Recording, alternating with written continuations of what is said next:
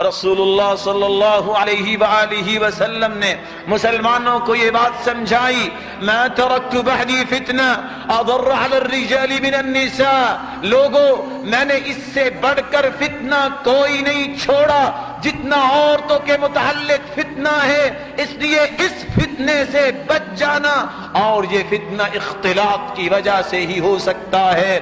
ابو سعید رضی اللہ تعالی عنہ روایت کرتے ہیں رسول اللہ صلی اللہ علیہ وسلم نے فرمایا ان الدنیا حلوت قدرہ یہ دنیا بڑی ہی حلوہ ہے دیکھنے میں خضرہ ہے اور چکھنے میں بڑی ہی مزیدار لگتی ہے حلوت المذاق خضرت المنظر بڑی انسان کو بھاتی ہے وَإِنَّ اللَّهَ مُسْتَخْلِفَكُمْ فِيهَا اللہ نے تمہیں موقع دیا ہے فَنَاظِرٌ اور دیکھ رہا ہے كَيْفَ تَحْمَلُونَ تم اس دنیا میں کیسے زندگی گزارتے ہو؟ فَاتَّقُوا الدُّنْيَا وَاتَّقُوا النِّسَاء، عورتوں کے فتنے سے بچ جانا اور دنیا میں دھت نہ ہو جانا۔ فَإِنَّ أَوَّلَ فِتْنَةٍ فی بنی اسرائیل كانت فی النساء۔ عورتوں کا فتنہ سب سے پہلے بنی اسرائیل میں آیا۔ سبب یہ تھا، ان کے اندر دو بڑی مصیبتیں آئیں۔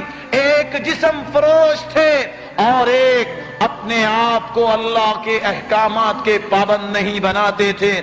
رسول اللہ صلی اللہ علیہ وآلہ وسلم فرماتے ہیں كانت امرأة من بني اسرائیل قصیرة تمشی بین امرأتین طویلتین بنی اسرائیل کی حالت یہ تھی جس کو آج مسلمان بھی اختیار کرتے وقت ڈرتا نہیں۔ ایک عورت جس کا قد تو چھوٹا تھا، لیکن وہ دو لمبے قد والی عورتوں کے درمیان چلا کرتی۔ فتخذت رجلین من خشب۔ لیکن اس کے دل میں اللہ کا خوف نہیں تھا، بلکہ اپنے آپ کو پیش کرنا تھا۔ اس نے ان دو عورتوں کے برابر ہونے کے لیے فتخذت رجلین من خشب۔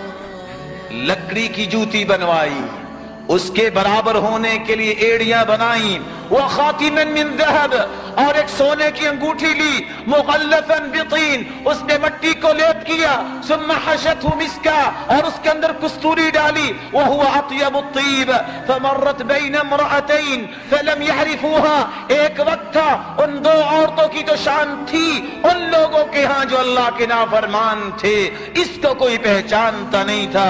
جب اس نے وہ لمبی ایڑی والی جوتی لے کر ان کے برابر اپنا قد کر لیا، فقالت بیدیہا ہاکذا جب بازاروں سے گزرتی، اپنی انگوٹھی کو بھی حرکت دیتی تاکہ خوشبو پہنچے ان لوگوں کو اور اس کا قد بھی اونچا ہو چکا تھا۔ فسموہا فتنہ بنی اسرائیل اس عورت کا نام فتنہ رکھ دیا۔ آج کی مسلمان عورت بھی اختلاط سے بچتی نہیں، بلکہ لمبی ایڑی پہننے میں ہار محسوس نہیں کرتی۔ مودا سمجھتی ہے، ڈیزائن سمجھتی ہے، اور خوشبو لگا کے بازاروں میں نکلنا عیب نہیں سمجھتی۔ جبکہ رسول اللہ صلی اللہ علیہ وسلم نے فرمایا، ایوم امرأت استعطرت جو عورت خوشبو لگاتی ہے، فمرت علی قوم، کسی قوم کے پاس سے گزرتی ہے لیجدو ریحہا فہی زانیہ اور اگر قوم کو اس کی خوشبو پہنچ جاتی ہے، تو یہ بدکار عورت کی نشانی ہے۔